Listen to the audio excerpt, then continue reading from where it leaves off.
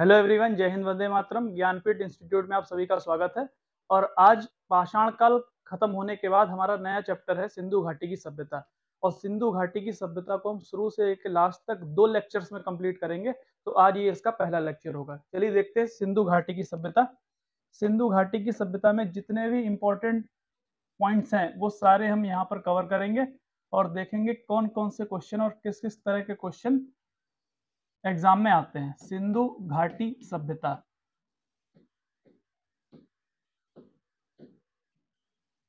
सबसे पहले हमें सिंधु घाटी सभ्यता में देखना है कि सिंधु घाटी सभ्यता की अवधि क्या है, ये किस समय की सभ्यता है और कितनी प्राचीन सभ्यता है। तो इसकी अवधि की अगर बात करें तो 2500 ईसा पूर्व से 1750 ईसा पूर्व इसका समय माना जाता है। 2500 ईसा पूर्व से 1750 ईसा पूर्व, यानी ईसा मसीह के जन्म से।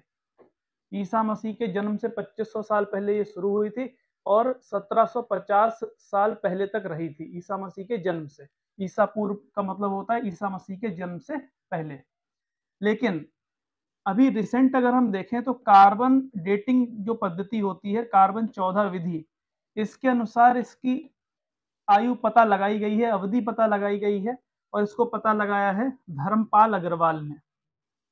धर्मपाल अग्रवाल ने उन्होंने इसकी जो अवधि है वो फिक्स की है कार्बन डेटिंग से 2300 ईसा पूर्व से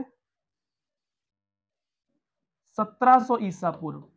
तो अगर आपसे एग्ज़ाम में सवाल पूछा जाता है कि कार्बन डेटिंग विधि या कार्बन डेटिंग पद्धति के अनुसार सिंधु घाटी सभ्यता का समय अवधि क्या है? तो आप कहेंगे 2300 ईसा पूर्व से 1750 ईसा पूर्व। और वैसे नॉर्मल अगर पूछा जाता है तो ये अवधि कितनी मानी जाती है? 2500 ईसा पूर्व से 1750 ईसा पूर्व। इसीलिए कहा जाता है, क्योंकि देखिए, अभी क्या चल रहा है? 2024 और ईसा मसीह के जन्म से 2500 साल पहले। तो इसमें 2500 और जोड़ दीजिए। तो लगभग कितना हो गया ये? साढ़े चार हज़ार हो गया। पैतालीस वर्ष। यानी ये सभ्यता इतने वर्ष पुरानी है, लगभग साढ़े चार हज़ार वर्ष पुरानी सभ्यता है। इसीलिए कई बार नरेंद्र मोदी अपने भाषण में सब प्रयोग करते हैं कि हमारी जो सभ्यता है, वो लगभग पाँच हज़ार वर्ष पुरानी है तो ये समय सिंधु घाटी सभ्यता से ही लिया जा रहा है। ठीक है? चलिए तो हमने यहाँ पर अवधि देख ली। अब हम देखते हैं कि सिंधु घाटी सभ्यता का आकार कितना था। तो सिंधु घाटी सभ्यता के अगर हम आकार की बात करें तो सिंधु घाटी सभ्यता का आकार या इसका क्षेत्रफल? लगभग 20 लाख वर्ग किलोमीटर के आसपास है। कितना? 20 लाख वर्ग किलोमीटर। और किताबों में आपको जो पुरानी बुक्स हैं, अभी भी उनमें डाटा आपको मिलेगा लगभग 13 लाख वर्ग किलोमीटर, जो कि अब बदलकर 20 लाख वर्ग किलोमीटर के आसपास हो गया है। और जैसे जैसे उत्खनन हो रहा है स्थानों पर, ये धीरे धीरे बढ़ता ही जाएगा। ये 20 लाख है, अभी फिर ये 22 लाख, फिर 25 लाख, ऐसे ही बढ़ता जाएगा। लेकिन पुरानी किताबों में आपको ये तेरह लाख वर्ग किलोमीटर मिलेगा। तो ये इसका क्षेत्रफल हो गया, इसका आकार त्रिभुजाकार है। ये त्रिभुजाकार रूप में फैली हुई है, त्रिभुजाकार। अभी हम इसका डायग्राम देखेंगे तो सारी बातें हमें समझ में आ जाएँगी। और अगली इंपॉर्टेंट बात यह कि इस सभ्यता को सिंधु घाटी सभ्यता नाम किसने दिया? तो ये नाम दिया था जॉन मार्शल ने। जॉन मार्शल ने इस सभ्यता को सिंधु घाटी सभ्यता का नाम दिया था। इसके अलावा इस सभ्यता को अन्य नामों से जाना जाता है, जिसमें एक प्रमुख नाम है हड़प्पा सभ्यता। हड़प्पा सभ्यता। ऐसा इसलिए क्योंकि सिंधु घाटी सभ्यता के स्थलों में सबसे पहला जो स्थल खोजा गया वो स्थल था हड़प्पा। तो हड़प्पा सबसे पहले खोजा गया, हड़प्पा स्थल की खोज सबसे पहले हुई 1921 में और उसके बाद खोज होती है मोहन जोदड़ो की 1922 में। तो सबसे पहले कौन सा स्थल खोजा गया? हड़प्पा। इस कारण से इस कारण से इसे हड़प्पा सभ्यता के नाम से भी जानते हैं। इसे सिंधु घाटी सभ्यता नाम जॉन मार्शल ने दिया था। इतनी बातें आपको याद रखनी है। चलिए आगे बढ़ते हैं इसमें। अब हम सिंधु घाटी सभ्यता के स्थलों को एक बार देखते हैं। लेकिन उससे पहले एक हम रफ अंदाज़ा लगाते हैं कि ये स्थल कहाँ कहाँ पे होंगे। तो उसके लिए हमको एक भारत का मैप बनाना पड़ेगा। और भारत के साथ आपको पाकिस्तान और अफ़गानिस्तान भी लेने पड़ेंगे। भारत के साथ पाकिस्तान और अफ़गानिस्तान भी इसमें आएँगे, क्योंकि सिंधु घाटी सभ्यता के स्थल तीन देशों में पाए गए हैं। और वो तीन देश कौन से हैं? भारत, पाकिस्तान और इसके साथ साथ एक स्थल है अफ़गानिस्तान। ये स्थान। तीन देश हैं, तीन देशों में स्थल पाए गए हैं। तो देखिए कौन कौन से स्थल होंगे? सबसे पहले हम देखेंगे अफ़गानिस्तान में कौन कौन से स्थल पाए गए। तो देखिए, अफ़गानिस्तान में दो स्थल पाए गए हैं। एक का नाम है शोरतुघई, एक का नाम है मुंडी गाक तो सिंधु घाटी सभ्यता के अगर हम स्थलों की बात करें, स्थलों की बात करें तो तीन देशों में पाए गए हैं। भारत के हम अलग से लिखेंगे क्योंकि भारत में बहुत ज़्यादा है। और तीसरा, भारत। पहला अफ़गानिस्तान पहला अफ़गानिस्तान, दूसरा देश है पाकिस्तान पाकिस्तान और तीसरा देश है भारत। तीसरा है भारत, ठीक? तो अफ़गानिस्तान में केवल दो स्थल मिले हैं। एक स्थल का नाम है शोरतुघई शोरतुघई, और दूसरे स्थल का नाम है मुंडी गाक दूसरे का नाम है मुंडी गाक या मंडी गाक मुंडी गाक ये दो स्थल पाए गए हैं। सिंधु घाटी सभ्यता के अफ़गानिस्तान में। दोनों आपको याद रखने हैं, दोनों ही मोस्ट इंपॉर्टेंट है। अब बात आती है पाकिस्तान में कौन कौन से स्थल हैं। तो देखिए, पाकिस्तान में कौन कौन से स्थल मिले हैं? जैसे सबसे पहला स्थल जो मिला था, वो पाकिस्तान में ही मिला था, वो है हड़प्पा। उस समय 1921 की बात है, ये भारत में ही था। 1947 में भारत और पाकिस्तान का बंटवारा हुआ तो हड़प्पा। हड़प्पा के बाद दूसरा स्थल मोहन जोदड़ो मोहन जोदाड़ो या मोहन जोदड़ो इसके बाद अगला स्थल चनहुदड़ो ये भी पाकिस्तान का है। ये सारे मैं पाकिस्तान के स्थल लिख रहा हूँ। चनहुदड़ो चनहुदड़ो के बाद अगला सुत कागेंडोर। सुत कागेंडोर। सुत कागेंडोर के बाद सुत कागेंडोर के पूरब में ही एक स्थल है।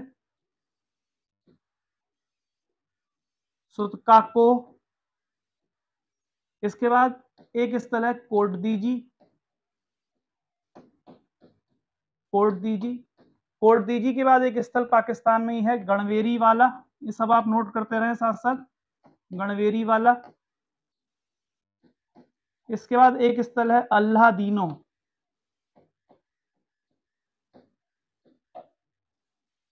अल्लादीनो और एक स्थल का नाम है आमरी। क्या नाम है? आमरी। तो इतने प्रमुख स्थल आपको पाकिस्तान के अंदर याद रखने हैं। दो स्थल हमने अफ़गानिस्तान में पढ़े और एक दो तीन चार पाँच छह सात आठ नौ लगभग नौ स्थल के आसपास हमने पाकिस्तान में पढ़े हैं। तो नौ और दो ग्यारह स्थल ये पा, पाकिस्तान और अफ़गानिस्तान में हो गए। अब हम देखते हैं भारत के स्थल। तो भारत के स्थल देखने से पहले हम यहाँ पर जो हमने ये मैप बनाया है इसको एक बार देखते हैं ये क्यों बनाया गया यहाँ पे? तो देखिएगा। यहाँ पर हम देखेंगे सिंधु घाटी सभ्यता के सबसे उत्तरी स्थल, सबसे दक्षिणी स्थल कौन सा है, सबसे पूर्वी और सबसे पश्चिमी। तो देखिए, सिंधु घाटी सभ्यता का सबसे उत्तरी स्थल माना जाता है मांडा। मांडा, इसका नाम है मांडा। और ये जम्मू कश्मीर में है। दूसरा सबसे दक्षिणी स्थल माना जाता है दैमाबाद। दैमाबाद और दैमाबाद महाराष्ट्र में है। कहा है? महाराष्ट्र में। और ध्यान करिएगा, पाषाण काल जब हम लोग पढ़ रहे थे, दैमाबाद के बारे में हमने क्या पढ़ा था? जोरवे संस्कृति, ताम्र पाषाण कालीन संस्कृति जो हमने पढ़ी तो उसमें देखा कि जोरवे संस्कृति का सबसे बड़ा स्थल भी कौन सा था? दैमाबाद। इसके बाद सबसे पश्चिमी स्थल का नाम है सुत कागिंडोर। ये सबसे पश्चिमी स्थल है सिंधु घाटी सभ्यता का। इसका नाम है सुत कागिंडोर। और सबसे उत्तरी स्थल का नाम है जो कि हमारे पश्चिमी उत्तर प्रदेश में पड़ता है। इसका नाम है आलमगीरपुर। आलमगीरपुर। और ये उत्तर प्रदेश में है, यूपी में है। अगली मोस्ट इंपॉर्टेंट बात ये पूछी जाती है कि ये कौन सी नदियों के किनारे हैं? तो देखिए, नदियों के नाम भी मैं यहाँ पे लिख देता हूँ। मांडा चिनाब नदी के किनारे है। चिनाब नदी के किनारे रेड पेन से नदियाँ लिखी हुई हैं। आलमगीरपुर हिंडन नदी के किनारे है। हिंडन नदी दैमाबाद प्रवरा नदी के किनारे है और प्रवरा गोदावरी की सहायक नदी है। प्रवरा किसकी सहायक है? गोदावरी की। अगर कभी ऑप्शन में आपको प्रवरा नहीं दिया होगा तो गोदावरी दिया हुआ होगा। इसके बाद सबसे पश्चिमी स्थल जो है सुतकागेंडोर ये दास्क नदी के किनारे है। कौन सी नदी? दास्क नदी के किनारे। ये स्थल हमने देखे, ये सबसे उत्तरी स्थल है, सबसे दक्षिणी स्थल है, सबसे पश्चिमी स्थल है और सबसे पूर्वी स्थल है। लेकिन एक बात ध्यान रखिएगा, जब से सोरतुगई की खोज हुई है तो ये माना जाता है कि सिंधु घाटी सभ्यता का सबसे उत्तरी स्थल जो है, वो शोरतुगई है। ये वाला जो स्थल है, ये सोरतुगई को सबसे उत्तरी स्थल माना जाता है शोरतुगई ये सबसे उत्तरी स्थल माना जाता है तो शोरतुगई को सबसे उत्तरी स्थल माना जाता है। ध्यान रखिएगा लेकिन अभी भी जब एग्ज़ाम में सवाल आता है तो आज भी मांडा को ही आंसर माना जाता है, लेकिन हम दोनों बातें याद रखेंगे। अगर कभी ऑप्शन में ऐसा आ जाए, नदर मोस्ट आपको बताना है, सबसे उत्तरी स्थल बताना है तो आप सोरतु गई कहेंगे, लेकिन अगर ऑप्शन में सोरतु गई नहीं है तो हम आंसर मांडा लगाएँगे, इसलिए मांडा को रखते हैं। अब इसका एक सिंपल सा चित्र आप बना सकते हो, इसी का, मैंने जो मैप बनाया, इतना बनाने की आपको ज़रूरत भी नहीं होगी। सिंपल सा एक आप मैप बनाइए। सिंपल सी लाइन ड्रॉ करनी है आपको। इस तरह से और इस तरह से। सबसे उत्तरी स्थल यहाँ पर है और सबसे उत्तरी स्थल का नाम है मांडा, जम्मू कश्मीर में। सबसे दक्षिणी स्थल का नाम है दैमाबाद, महाराष्ट्र में। सबसे पश्चिमी स्थल का नाम है सुतकागिंडोर, पाकिस्तान में। पाकिस्तान के बलूचिस्तान प्रांत में पड़ता है। दास नदी के किनारे पाया गया है और यहाँ पर सबसे पूर्वी स्थल है आलमगीरपुर। आलमगीरपुर। आलमगीरपुर सबसे पूर्वी स्थल है, ये हिंडन नदी के किनारे है और हिंडन नदी के किनारे गाजियाबाद शहर भी बसा हुआ है, ठीक है? अब देखिए, यहाँ पर आपको एक बात ये देखनी है कि इसकी उत्तर से दक्षिण लंबाई टोटल कितनी है? तो उत्तर से दक्षिण सिंधु घाटी सभ्यता की जो उत्तर से दक्षिण स्थल हम ये बात करें इनकी टोटल लेंथ जब नापी गई तो ये आई 1600 किलोमीटर। कितना है? 1600 किलोमीटर। और पूरब से पश्चिम जब लेंथ की बात की गई, ये जो लेंथ निकाली गई, ये आई 1400 किलोमीटर। ठीक? तो ये इसका विस्तार है। और विस्तार त्रिभुजाकार रूप में है लगभग। आप जैसे यहाँ पर देख सकते हो, अगर मैं इसका आपको आकार दिखाऊँ तो आप लगभग देखोगे तो एक ट्राइंगल बन रहा है। लगभग आप क्या देखेंगे? एक ट्राइंगल बन रहा है। लगभग एक ट्राइंगल की तरह है। ठीक तो स्थल है। इसलिए इसको त्रिभुजाकार सभ्यता कहा जाता है। त्रिभुजाकार आकार में सभ्यता पाई गई है। ठीक है? तो हमने यहाँ पर ये स्थल अभी भारत के नहीं देखे हैं। अभी हमने बस ये दो देखे हैं, अफ़गानिस्तान और पाकिस्तान के। एक बार फिर से रिवाइज कर लीजिए। अफ़गानिस्तान में दो स्थल हैं सोरतुघई और मुंडीगाग पाकिस्तान के स्थल हड़प्पा, मोहनजोदड़ो, चनहुदड़ो, सुतकागिंडोर सुतकाको गणवेरी वाला अल्लादीनो और आमरी। ये स्थल कहाँ के हैं? ये स्थल पाकिस्तान के हैं। ठीक? अब भारत के स्थलों की बात बची है, लेकिन उससे पहले मैं आपको कुछ और बातें बताना चाहता हूँ, वो देखिएगा। सिंधु घाटी सभ्यता की अगर हम बात करें तो सिंधु घाटी सभ्यता के विषय में कहा जाता है कि सिंधु घाटी सभ्यता को बसाया किसने है? सवाल है ये। तो सिंधु घाटी सभ्यता की हम उत्पत्ति की बात करें अगर, सिंधु घाटी सभ्यता की अगर हम उत्पत्ति की बात करें तो सिंधु घाटी सभ्यता की उत्पत्ति कैसे हुई है? किसने इसको बसाया है? ये सवाल है। तो देखिए, उत्पत्ति। कुछ विद्वानों का ये मानना है कि सिंधु घाटी सभ्यता को पहला है। सिंधु घाटी सभ्यता को सुमेरियन सभ्यता के लोगों ने बसाया है। कौन सी सभ्यता? सुमेरियन। और सुमेरियन मेसोपोटामिया की सभ्यता का ही भाग है। सुमेरियन सभ्यता के लोगों द्वारा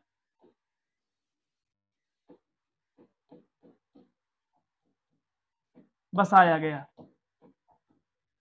यानी सुमेरियन सभ्यता में रहने वाले लोग जब यहाँ पर आए हैं, इस क्षेत्र में, उन्होंने सभ्यता को बसाया। और सुमेरियन सभ्यता किस सभ्यता का भाग है? मेसोपोटामिया की सभ्यता का। ध्यान रखिएगा, मेसोपोटामिया की सभ्यता में चार प्रमुख सभ्यताएँ हैं, जिसमें एक सुमेरियन सभ्यता है। मेसोपोटामिया की सभ्यता का हिस्सा है। अभी मैं आपको चार सभ्यताएँ भी बता दूँगा मेसोपोटामिया की। मेसोपोटामिया। इन लोगों ने बसाया।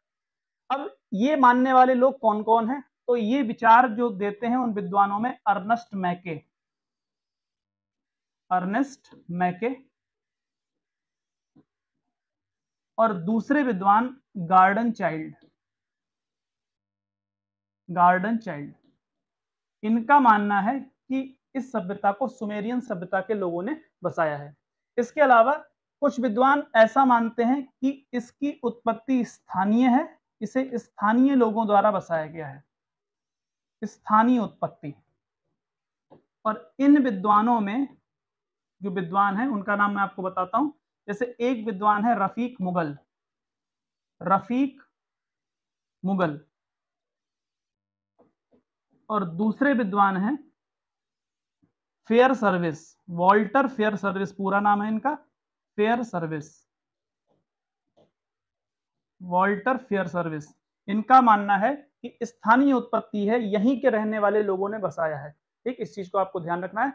तो उत्पत्ति ज़्यादा साक्ष्य जो है, वो इस पक्ष में जाते हैं कि इसको सुमेरियन सभ्यता के लोगों ने बसाया। तो एग्ज़ाम में सवाल आया हुआ भी है। एग्ज़ाम में सवाल आया हुआ है कि सिंधु घाटी की सभ्यता को किन लोगों ने बसाया? तो ध्यान रखेंगे, पश्चिम एशिया से आए हुए लोगों ने, क्योंकि सुमेरियन सभ्यता, जो कि मेसोपोटामिया की सभ्यता का हिस्सा है, वो इराक में पड़ता है, इराक में। और मैंने आपको बताया भी था, मेसोपोटामिया दजला और फरात नदी की घाटी में है, जो कि इराक में स्थित है, इराक में।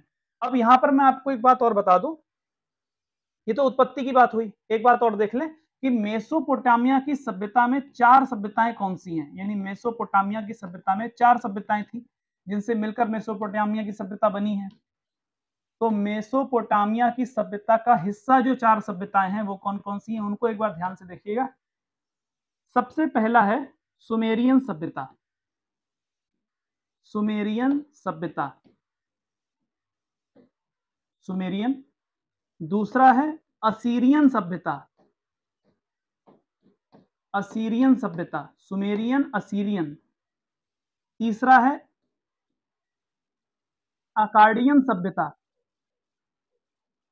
अकार्डियन। और चौथा है बेबीलोनियन सभ्यता। बेबीलोनियन सभ्यता। और बेबीलोनिया एक जगह है इराक में। और बेबीलोनिया के बारे में आप अच्छे से जानते हैं। बेबीलोनिया में किस शासक की मृत्यु हुई थी? तो बेबीलोनिया में सिकंदर की मृत्यु हुई थी। ठीक है? तो ये चार सभ्यताएँ मेसोपोटामिया की सभ्यताएँ हैं। तो इन चारों में से कौन सी सभ्यता के लोगों ने भारत में आकर सिंधु घाटी को बसाया है तो इसका आंसर होगा सुमेरियन सभ्यता के लोगों ने, जो कि मेसोपोटामिया का हिस्सा है, सुमेरियन सभ्यता, ठीक है? तो हमने मेसोपोटामिया के बारे में इतनी बात जान ली। अगली बात। सिंधु घाटी सभ्यता में जब साक्ष्य प्राप्त हुए तो उसमें कई कंकाल भी मिले हैं। तो सवाल यह है, सिंधु घाटी की सभ्यता में कौन कौन सी प्रजाति के लोग रहा करते थे? तो चार प्रजातियाँ यहाँ प्रमुख रूप से पाई गई हैं। कितनी प्रजातियाँ? चार प्रजातियाँ यहाँ प्रमुख रूप से पाई गई हैं। कंकालों के आधार पर यह निर्णय निकाला गया है, ठीक? तो वो कौन सी चार प्रजातियाँ हैं उनको हमें देखना है। सबसे पहला है प्रोटो ऑस्ट्रेलॉइड। Proto Australoid. एक प्रजाति है प्रोटो ऑस्ट्रेलॉइड और इसको ही हम कहते हैं कॉकेशियन। कॉकेशियन। कॉकेसस पर्वत पर रहने वाले कॉकेशियन। कॉकेशियन। दूसरा दूसरा है प्रजाति, वो है भूमध्य सागरीय। दूसरी प्रजाति है भूमध्य सागरीय प्रजाति। भूमध्य सागरीय प्रजाति। और इसको कहा जाता है इंडो यूरोपियन इंडो यूरोपियन ये दूसरी प्रजाति है जो वहाँ पाई गई है, सिंधु घाटी की सभ्यता में।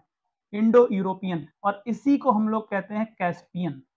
जैसे कि प्रोटो ऑस्ट्रेलाइट को कहा जाता है कॉकेशियन, उसी तरह से भूमध्य सागरीय को कहा जाता है इंडो यूरोपियन या फिर कैस्पियन। तीसरी प्रजाति जो पाई गई है वो है अल्पाइन। अल्पाइन, आल्पस पर्वत पर रहने वाले लोगों को अल्पाइन कहा जाता है। तो ये यूरोप की जनजाति है। यूरोप में आल्पस पर्वत पर पाई जाती है, अल्पाइन। और चौथी जो प्रजाति सिंधु घाटी सभ्यता में पाई गई है, वो है मंगोलाइड। मंगोलॉइड। ये चार प्रजातियाँ सिंधु घाटी सभ्यता में पाई गई हैं और यहाँ से सवाल पूछा जा चुका है। प्रीवियस ईयर क्वेश्चन जब हम लोग करेंगे तो देखेंगे यहाँ से एक सवाल आया हुआ है। सवाल यहाँ से भी आया हुआ है और सवाल यहाँ से भी आया हुआ है। तो दोनों तरफ़ से हम लोग सवाल देखेंगे। अब हम देखते हैं कि भारत में कौन कौन से सिंधु घाटी सभ्यता के स्थल हैं। एक बार भारत में स्थल देख लेते हैं। भारत। तो भारत में स्थलों को हमें राज्यवार देखना पड़ेगा। कौन कौन से राज्य में कौन से स्थल? तो देखिए, सबसे पहले हम लिखेंगे स्थल, जहाँ सबसे ज़्यादा स्थल पाए गए हैं गुजरात। तो ध्यान रखिएगा सिंधु घाटी सभ्यता में जितने भी स्थल पाए गए हैं, उनमें सबसे ज़्यादा स्थल गुजरात राज्य में पाए गए हैं, गुजरात में। तो गुजरात में कौन कौन से स्थल हैं? पहले गुजरात वाले स्थल देख लेते हैं। देखिए कौन कौन से हैं स्थल। तो गुजरात में पहला स्थल है धौलावीरा। नाम आपने सबका सुना है और जो नाम नहीं सुना, उसको नोट डाउन कर लीजिएगा। धौलावीरा।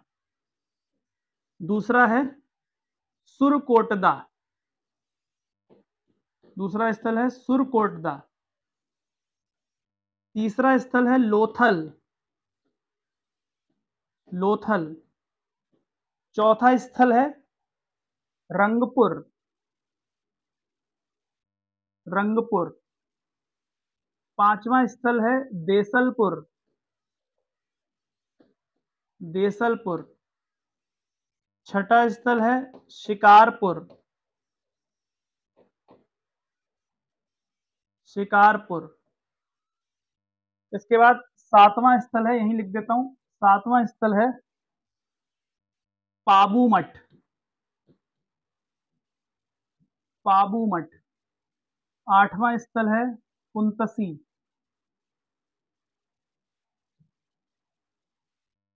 कुंतसी। और नवा स्थल है पाडरी। ये कुछ प्रमुख स्थल हैं जो गुजरात में पाए गए हैं। धौलावीरा, सुरकोटदा, लोथल, रंगपुर, देसलपुर शिकारपुर पाबूमठ, कुंतसी और पाटरी। ये प्रमुख स्थल हैं। इनको एक बार देख लीजिए।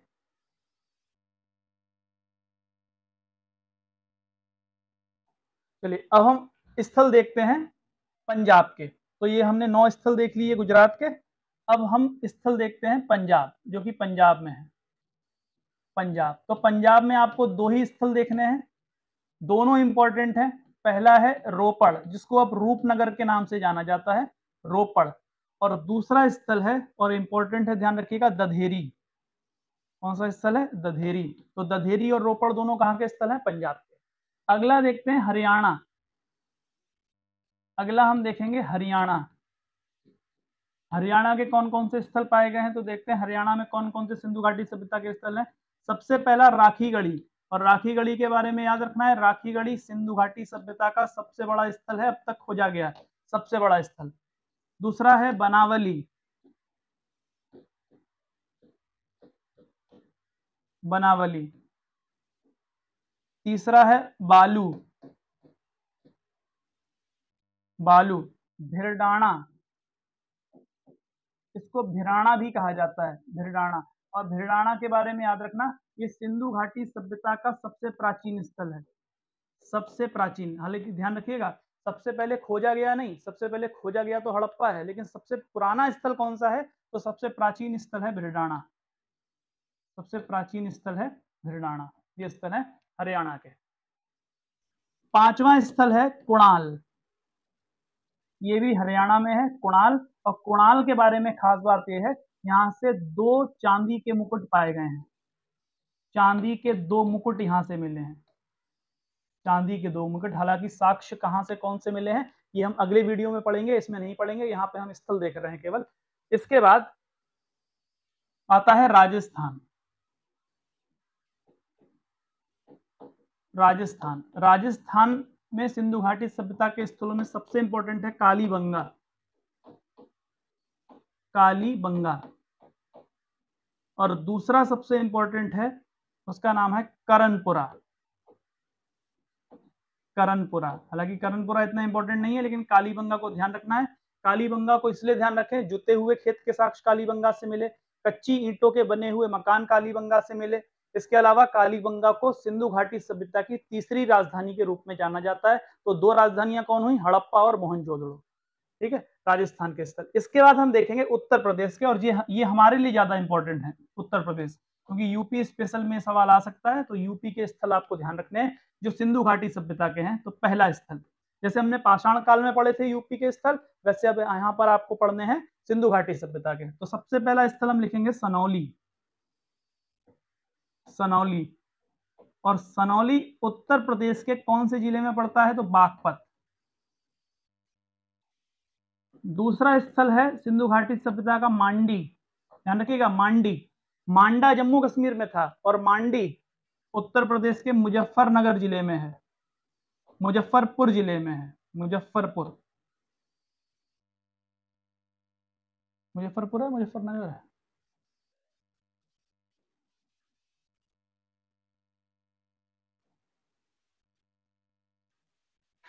मुजफ्फरनगर होगा मेरे हिसाब से। नगर है हाँ वही तो। मांडी उत्तर प्रदेश के मुजफ्फरनगर ज़िले में है।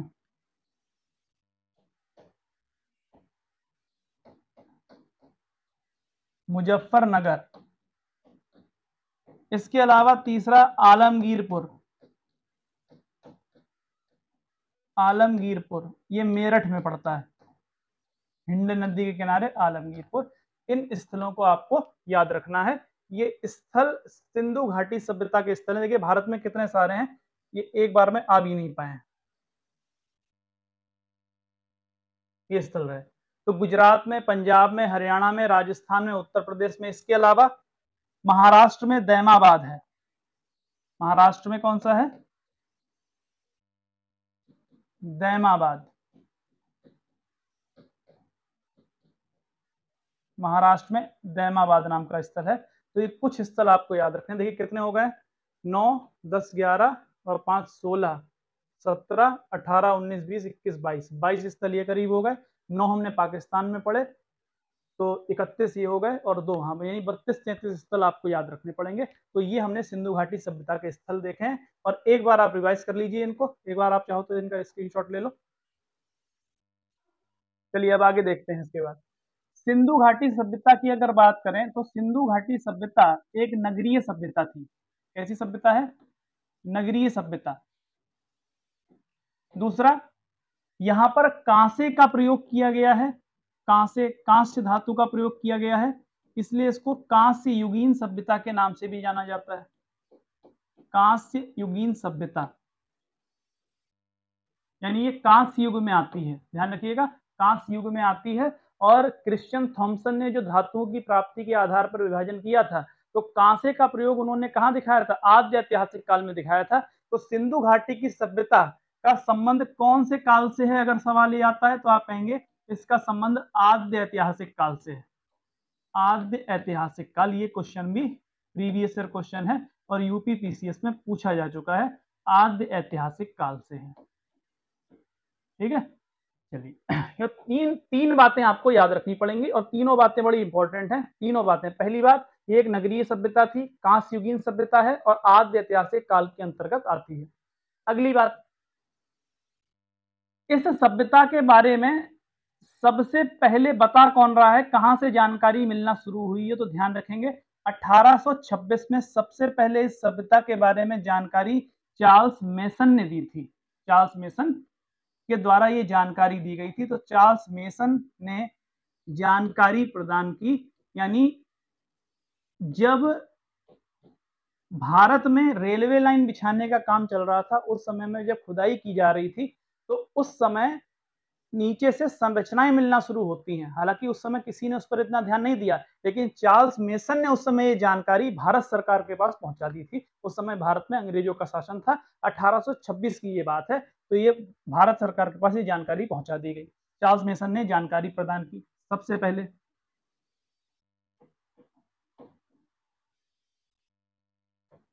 और चार्ल्स मेसन ने इस स्थल को सिकंदर से संबंधित स्थल के रूप में देखा। उसको ये अंदाज़ा नहीं था कि इतनी प्राचीन कोई सभ्यता है। उसने सोचा ये सिकंदर के टाइम में बसाया हुआ कोई नगर होगा। सिकंदर ने कई नगरों की स्थापना भी की थी। इसमें निकैया, बुकैफला जो स्थल हैं, बड़े प्रमुख स्थल हैं तो उनमें से उसने सोचा हो सकता है उसी के द्वारा बसाया गया कोई स्थल निकल कर आ गया। तो सिकंदर के समय के स्थल के रूप में उसने इसकी पहचान की है। इसके बाद 1831 में 1831 में अलेक्जेंडर बंस आते हैं, अलेक्जेंडर बंस उन्होंने हड़प्पा टीले की खोज की। अलेक्जेंडर बंस ने हड़प्पा टीले को देखा सर्वप्रथम, हड़प्पा टीले को।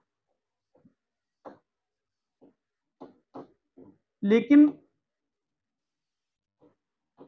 उसका भी कोई खास महत्व तो नहीं रहा, इस चीज़ को आगे नहीं बढ़ाया गया, इतना सीरियसली चीज़ों को नहीं लिया गया, क्योंकि अंग्रेज़ों को ऐसा नहीं लगा था कि भारत में किसी स्थान पर इतनी पुरानी सभ्यता निकल आएगी। और दूसरा, अगर उन्हें ऐसा लगता भी था तो वो चाहते नहीं थे ऐसी कोई सभ्यता प्रकाश में आ जाए, क्योंकि उन्होंने शुरू से भारत के इतिहास को कमतर करने का प्रयास किया। और अगर ऐसी कोई सभ्यता साढ़े चार हज़ार वर्ष पुरानी या पाँच हज़ार वर्ष पुरानी निकल कर आती तो अंग्रेज़ों को ये लगता कि हमसे भी पुरानी जो सिविलाइजेशन कोई सभ्यता है, वो भारत में जन्म ले चुकी थी। यानी भारतीय बहुत प्राचीन है, भारतीयों की सभ्यता बहुत प्राचीन है, और वो भी एक नगरीय सभ्यता निकल कर आ रही है। वहाँ पर कांसे का प्रयोग हो रहा है तो यहाँ पर अंग्रेज़ कमतर हो जाते और भारतीय सर्वोच्च हो जाते, इस कारण से अंग्रेज़ों ने इसको प्रकाश में नहीं लाया, ठीक है? अगला, फिर अठारह से अठारह के बीच में, इन 20 सालों के बीच में, एक व्यक्ति हैं अलेक्जेंडर कनिंगम इनके बारे में आप अच्छे से जानते हो, अलेक्जेंडर कनिंगम को भारतीय पुरातत्व का पिता कहा जाता है, भारतीय पुरातत्व का जनक कहा जाता है, फादर ऑफ़ इंडियन आर्कियोलॉजी कहा जाता है, अलेक्जेंडर कनिंगम ने इस क्षेत्र के दो बार दौरे किए, दो दौरे किए और सर्वेक्षण करवाया। सर्वेक्षण, ध्यान रखिएगा, कोई खुदाई इत्यादि नहीं करवाई गई, बस मार्किंग कर दी गई, सर्वेक्षण करने के लिए एक मार्किंग करवा दी गई कि हाँ ये क्षेत्र है, ये क्षेत्र मिले हैं, प्राचीन लग रहे हैं देखने में, अब कितने प्राचीन है पता नहीं है। अलेक्जेंडर कनिंगम ने भी इनको बहुत पुराना नहीं समझा। लेकिन अब बात आती है, जब जॉन मार्शल इसके अध्यक्ष बनते हैं, ध्यान रखिएगा, लॉर्ड कर्जन के समय, ये होता है 1901 में एएसआई को गठित किया जाता है, पुनर्गठन किया जाता है एएसआई का आर्कियोलॉजिकल सर्वे ऑफ़ इंडिया का, हालाँकि आर्कियोलॉजिकल सर्वे ऑफ़ इंडिया की स्थापना 1861 में हो चुकी थी, लेकिन फिर इसका पुनर्गठन होता है लॉर्ड कर्जन के टाइम पर, कर्जन के टाइम में ये चीज़ें आगे बढ़ती हैं। 1899 से लेकर 1905 तक कर्जन भारत में वायसराय के रूप में कार्य करेंगे। अब देखिए यहाँ पे। 1901 में एएसआई का गठन होता है। 1902 में इसके निदेशक बनाए जाते हैं जॉन मार्शल। John Marshall. और जॉन मार्शल ने इन चीज़ों को थोड़ा सीरियसली लेना शुरू किया और 1921 में, अब वो समय आ चुका है। 1921 में जॉन मार्शल की अध्यक्षता में, एक वहाँ पर उत्खनन हुआ हड़प्पा में, जॉन मार्शल की अध्यक्षता में उत्खनन होता है और उत्खनन करवाते हैं दयाराम साहनी। दयाराम साहनी। और इस तरह से सिंधु घाटी सभ्यता की खोज हो जाती है। दयाराम साहनी 1921 में जिस स्थल की खोज करते हैं, वो स्थल है हड़प्पा। और बाद में इसका काफ़ी व्यापक उत्खनन करवाया जाता है। हालाँकि आपसे पूछा जाएगा, हड़प्पा की खोज किसने की? तो राय बहादुर दयाराम साहनी के द्वारा 1921 में इसकी खोज की। और इसके अगले ही वर्ष 1922 में मोहन जोदड़ो, पाकिस्तान के क्षेत्र में मोहन जोदड़ो को खोजा जाता है, जो कि सिंधु घाटी सभ्यता का सबसे बड़ा नगर है। आज भी ये सिंधु घाटी सभ्यता का सबसे बड़ा नगर है, लेकिन सिंधु घाटी सभ्यता का सबसे बड़ा स्थल राखी गढ़ी है, जो कि हरियाणा में है। मोहन जोदड़ो और इसको खोजा था आर डी बनर्जी ने। राखल दास बनर्जी। ठीक, ये चीज़ें आपको इतनी यहाँ पर याद रखनी पड़ेंगी। तो इसका आप एक बार चाहें तो स्क्रीनशॉट ले सकते हैं, जो भी हमने यहाँ पर इंफॉर्मेशन लिखी है, इसका आप स्क्रीनशॉट ले लीजिए इंपॉर्टेंट है।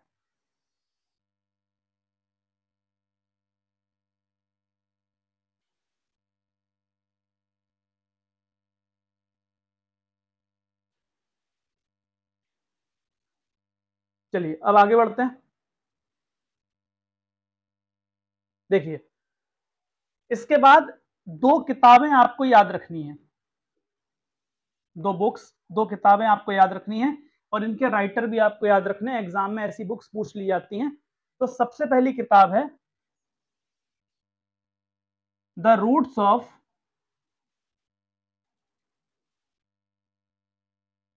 ancient India the roots of ancient India. एक किताब ये है, the roots of ancient India. और अगली पुस्तक है, the story of Indian archaeology. The story of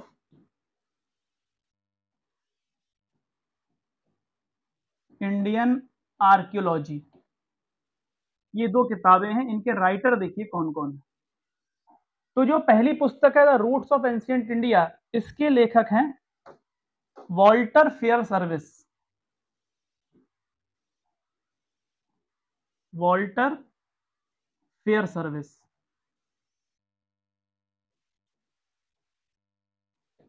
Walter Fairservis. मैं यहाँ पर हिंदी में लिख देता हूँ। Fairservis. इनका नाम है वॉल्टर फेयर सर्विस। इन्होंने ये किताब लिखी है the roots of ancient India और the story of Indian archaeology पुस्तक लिखी है एस एन राव ने। एस एन राव और एस एन राव का पूरा नाम है सुरेंद्र नाथ राव। सुरेंद्र नाथ राव। ये किताब इनकी ये दोनों पुस्तकें आपको याद रखनी है, ठीक? इसका भी स्क्रीनशॉट ले सकते हो आप लोग। चलिए, अगला देखते हैं। अब हमने एक बात की पहले कि सिंधु घाटी सभ्यता एक नगरीय सभ्यता है तो इसका मतलब ये हुआ कि नगर होने के कुछ प्रमाण भी मिले होंगे। नगरीय सभ्यता इसको क्यों कहा जा रहा है? तो नगरीय सभ्यता होने के प्रमाण भी मिले हुए हैं इसका मतलब। इसका मतलब ये हुआ, पहला, नंबर एक, यहाँ पर भवन और निर्माण सामग्री मिली है।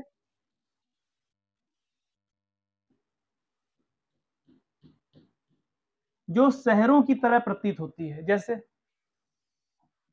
निर्माण सामग्री में ईंटें मिली हैं, ईंटें। और ध्यान रखना है, कच्ची और पक्की दोनों प्रकार की ईंटें पाई गई हैं। कच्ची ईंटें भी पाई गई हैं और पक्की ईंटें भी पाई गई, जैसे आज पाई जाती हैं। और इन ईंटों की लंबाई, चौड़ाई और मोटाई का अनुपात चार अनुपात, दो अनुपात एक पाया गया है। यह अनुपात किसका है? लंबाई चौड़ाई और ऊंचाई।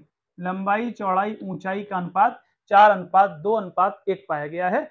ईंटें मिली हैं कच्ची और पक्की दोनों, जो कि शहरों की विशेषता है, जो कि नगर की विशेषता है। इसके अलावा भवन के रूप में दो मंजिला और बहुमंजिला भवन मिले हैं। दो मंजिला और बहुमंजिला भवन मिले हैं।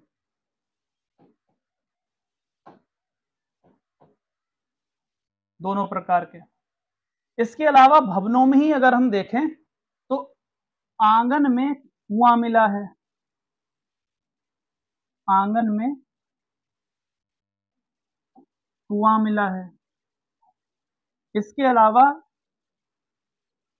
स्नान घर भी देखने को मिलते हैं। ठीक? तो ये शहरों की कुछ खास विशेषताएँ हैं, जिसमें ईंटों का प्रयोग ज़्यादा महत्वपूर्ण है। इसके अलावा हम अगर देखें तो सड़कें और नालियाँ। दूसरी अगर विशेषता देखें शहरों की तो सड़कें और नालियाँ मिली हैं। सड़कें और नालियाँ। अब यहाँ ध्यान से सुनिए एक बार जरा। जो सड़कें मिली हैं, सड़कें चौड़ी हैं। चौड़ी। और दूसरा बात है, ग्रिड पद्धति के रूप में सड़कें हैं। सड़कें एक दूसरे को समकोण पर काटती हैं। कैसे काटती हैं? समकोण पर। सड़कें एक दूसरे को समकोण पर काटती हैं। कहने का मतलब एक मुख्य सड़क जा रही है और उसमें जो किनारे से सड़कें आकर मिल रही हैं, वो सड़कें समकोण पर आकर मिलती हैं। इस तरह से समकोण पर आकर मिलती हैं। समकोण पर। इस तरह की चीज़ें हम शहरों में भी देख सकते हैं, जबकि गाँव में इस तरह की चीज़ें हमको नहीं दिखाई देती कि इतनी ज़्यादा जगह ही नहीं होती है। तो एक चौड़ी सड़क है, चौड़ी सड़क में कई सारी सड़कें आकर मिल रही हैं और समकोण पर सड़कें एक दूसरे को काट रही हैं। इसी तरह की जगह एक मिलती है मोहन जोदड़ों में। मोहन जोदड़ों में सड़कें समकोण पर काट रही हैं और एक स्थान पर आकर मिल रही हैं, एक चौराहे पर आकर मिल रही हैं। मोहन जोदड़ों में एक चौराहा मिला है। उस चौराहे को नाम दिया गया है ऑक्सफोर्ड सर्कस। तो अगर एग्ज़ाम में आपसे सवाल पूछा जाए ऑक्सफोर्ड सर्कस सिंधु घाटी सभ्यता के कौन से स्थल में है? तो आप कहेंगे मोहन जोदड़ो में। Oxford circus. Oxford circus. क्या है ऑक्सफोर्ड सर्कस? सिंधु घाटी सभ्यता के मोहन जोदड़ो नामक स्थल में मिला हुआ एक चौराहा। उसको अंग्रेज़ों ने नाम दिया है ऑक्सफोर्ड सर्कस। ऑक्सफोर्ड सर्कस नाम इसको दिया गया है। ऑक्सफोर्ड सर्कस वैसे ब्रिटेन में है और उसी के नाम पर इसका नाम भी रख दिया गया है। इसके बाद शहरों की विशेषता में हमने ये दो चीज़ें देखी, इसके अलावा नालियों की अगर बात करें तो नालियाँ पक्की ईंटों से बनी थी। पक्की ईंटों से बनी हुई मिली। नालियों में प्लास्टर किया हुआ भी मिला है, प्लास्टर किया हुआ भी मिला है। इसके अलावा घरों से, अगर घर की हम बात करें तो घरों से जो पानी निकलता था, जो छोटी नालियों के माध्यम से पानी निकलता था वो पानी एक बड़े नाले में जाकर मिलता था। और उस बड़े नाले, घरों के जो पानी है, छोटी नालियों से आता था और एक बड़े नाले में जाकर मिलता था और उसके बाद वो पानी शहर के बाहर निकल जाता था इस बड़े नाले के माध्यम से और यहाँ पर कई कई जगह इसको साफ़ करने के लिए मेन होल भी मिले हैं, जो कि शहरों की विशेषता है और शहरों में ये पाया जाता है। तो इस तरह ध्यान रखिएगा। तो नालियाँ, जो पानी निकलने की व्यवस्था थी, वो उत्तम व्यवस्था थी, अति विकसित, आप कह सकते हैं। अति विकसित व्यवस्था। अति विकसित व्यवस्था। उन्नत व्यवस्था। ध्यान रखिएगा इस बात का।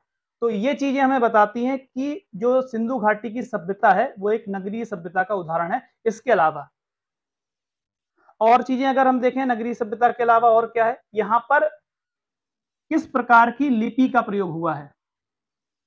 लिपि। तो ध्यान रखिएगा, सिंधु घाटी सभ्यता की लिपि भाव चित्रात्मक लिपि है। कैसी लिपि है? भाव चित्रात्मक लिपि है। और इस लिपि में चौसठ मूल चिन्ह पाए गए हैं। कितने मूल चिन्ह हैं? चौसठ मूल चिन्ह पाए गए हैं और 250 से 400 अक्षर प्राप्त हुए हैं। 250 से 400 अक्षर प्राप्त हुए हैं और चौसठ मूल चिन्ह प्राप्त हुए हैं। चौसठ मूल चिन्ह इसमें प्राप्त हुए हैं। चौसठ मूल चिन्ह। इस भाव चित्रात्मक लिपि को एक नाम दिया गया है, जो कि एग्ज़ाम में सवाल पूछा गया है कि सिंधु घाटी सभ्यता की लिपि कैसी है। और अगर ऑप्शन में वहाँ पर भाव चित्रात्मक नहीं होगा तो क्या लगाओगे आप? तो आप लगाएँगे आंसर बूस्ट्रोफेडन लिपि। कौन सी लिपि? बूस्ट्रोफेडन ध्यान रखिएगा बूस्ट्रोफेडन लिपि। इसको नाम दिया गया है बूस्ट्रोफेडन लिपि। और इसकी खास बात यह है इसे खरोष्टी की तरह लिखा जाता था, यानी इसको दाएँ से बाईं ओर लिखा जाता था। कैसे लिखी जाती थी? दाएँ से बाईं ओर। दाएँ से बाईं ओर। इसको दाएँ से बाईं ओर लिखा जाता था, यानी इस तरह से। यानी अगर इस पर लिखना है तो यहाँ से लिखना शुरू किया जाता था, इस तरह से। यहाँ से लिखना शुरू किया जाएगा। इस तरह के अक्षर उनके में बने होते थे, जो हम आज तक पढ़ नहीं पाए हैं। और जब पढ़ नहीं पाए हैं तो इसीलिए वो सब किसमें आते हैं? तो इसीलिए वो सब आद्य ऐतिहासिक काल में आते हैं। जहाँ पर लिखित साक्ष्य तो मिले, लेकिन हम उनको पढ़ नहीं पाए, वो आद्य ऐतिहासिक काल में आता है। ठीक है? तो ये हो गई लिपि। इसके अलावा शिल्प और उद्योग मिले हैं। शिल्प और उद्योग के प्रमाण मिले हैं। औद्योगिक शहर यहाँ पर मिले हैं, जैसे औद्योगिक शहरों में चनहुदड़ो सबसे प्रमुख है। शिल्प और उद्योग की अगर बात करें तो सबसे प्रमुख उद्योग यहाँ पर वस्त्र उद्योग था। सबसे प्रमुख उद्योग कौन सा था? वस्त्र उद्योग, सबसे प्रमुख। और आपको पता है, सिंधु घाटी की सभ्यता के लोग ही सबसे पहले थे जिन्होंने किसका उत्पादन किया? कपास का। कपास का उत्पादन करने वाले सबसे पहले लोग कौन है? सिंधु घाटी सभ्यता के लोग। हमारे यहाँ से कपास ग्रीस में गया, एथेंस, जिसको आप कहते हैं। ग्रीस की राजधानी एथेंस है। हमारे यहाँ से कपास कहाँ गया? ग्रीस गया। और ग्रीस के लोग कपास को क्या कहते थे? सिंडन। ग्रीस के लोग कपास को सिंडन कहते थे, इसीलिए हमारे भारत को वो क्या कहते थे? सिंडोन। इसीलिए उन्होंने भारत को क्या नाम दिया? सिंडोन नाम दिया, क्योंकि वो कपास को सिंडन कहा करते थे और कपास भारत में उगाया जाता था। इसके बाद, भारत के बाद कपास को उगाना मिस्र में भी शुरू किया गया। भारत में कपास की अगर बात की जाए तो लगभग तीन हज़ार ईसा पूर्व उगाना शुरू किया गया माना जाता है, और मिस्र में ढाई हज़ार ईसा पूर्व इसको उगाना शुरू किया गया। ठीक? इसके अलावा वस्त्र उद्योग के अलावा क्या क्या है? जैसे मृद भांड बनाना। मृद भांड बनाते थे लोग। दूसरा, मनका बनाने के कारखाने मिले हैं। मनका बनाने का कारखाना, जिसको हम बीड फैक्ट्री कहते हैं, मनका बनाने का कारखाना लोथल से भी मिला है चनहुदड़ो से भी मिला है। इसको अंग्रेज़ी में कहते हैं बीड फैक्ट्री। बीड माने मनका होता है। Bead factory. तो इस तरह से हमें वहाँ पर उद्योग भी देखने को मिलते हैं, जिसमें सबसे प्रमुख कौन सा है? सबसे प्रमुख है वस्त्र उद्योग। इसके बाद बात आती है व्यापार और वाणिज्य की। व्यापार और वाणिज्य। तो देखिएगा जरा, व्यापार के बारे में अगर हम बात करें, सबसे पहला तो अंतर देशीय व्यापार होता था तो हाँ अंतरदेशीय व्यापार होता था देश के अंदर ही, सिंधु घाटी की सभ्यता के लोग आपस में ही व्यापार किया करते थे।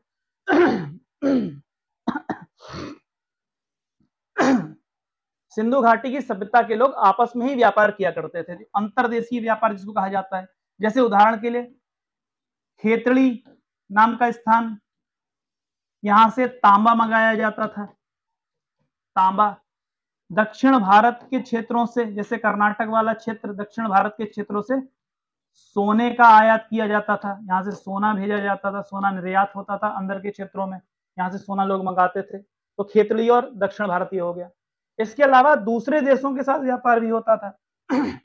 दूसरे देशों के साथ व्यापार होता था। जैसे फारस की मोहरें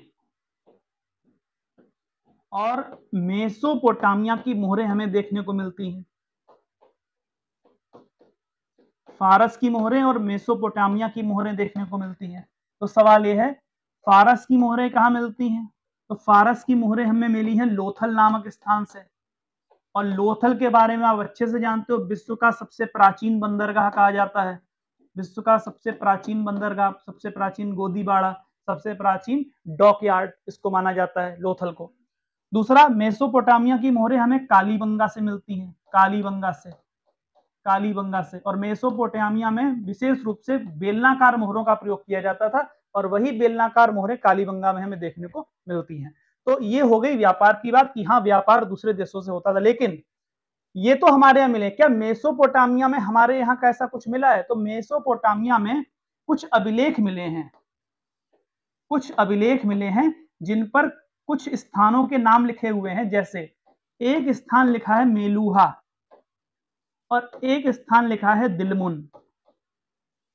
मेलुहा और दिलमुन। ये दो बड़े इंपॉर्टेंट नाम हैं। मेलुहा शब्द का प्रयोग मेसोपोटामिया में हड़प्पा के लोगों के लिए किया जाता था। इसके लिए? हड़प्पा के लोगों के लिए। हड़प्पा के लोगों के लिए मेलुहा शब्द का प्रयोग मेसोपोटामिया में किया गया है। दूसरा, दिलमुन शब्द दिया गया है। पारस की खाड़ी में एक द्वीपीय देश है, जिसका नाम है बहरीन। बहरीन। और बहरीन को साफ़ सुथरे स्थानों वाला देश भी कहा गया है, ठीक है? तो दिलमुन शब्द का प्रयोग बहरीन के लिए हुआ है, मेहलुआ शब्द का प्रयोग हड़प्पा के लोगों के लिए हुआ है। ये हमने व्यापार वाणिज्य में ये बात देखी। इसके बाद बात आती है धर्म की। इसके बाद बात आती है धर्म की। अगर हम धर्म के बारे में देखें तो कौन सा धर्म यहाँ पर हुआ करता था? लोगों के धार्मिक क्रियाकलाप क्या थे? तो सबसे पहला आपको ध्यान रखना है, यहाँ पर मूर्ति पूजा का अगर आप कॉन्सेप्ट कहें तो वो पूरी तरह से नहीं दिखाई देता, लेकिन लोग प्रकृति के पूजक ज़रूर थे, प्रकृति की पूजा करते थे, प्रकृति की पूजा, प्रकृति की पूजा। दूसरा, मात्र देवी की यहाँ से मूर्तियाँ मिली हैं, मात्र देवी की मूर्तियाँ मिली हैं जिसको प्रकृति की देवी कहा जाता है प्रकृति के रूप में पूजा की जाती थी। दूसरा, ये लोग कर्मकांड में विश्वास करते थे। कर्मकांड में विश्वास करते थे। कर्मकांड में विश्वास करते थे।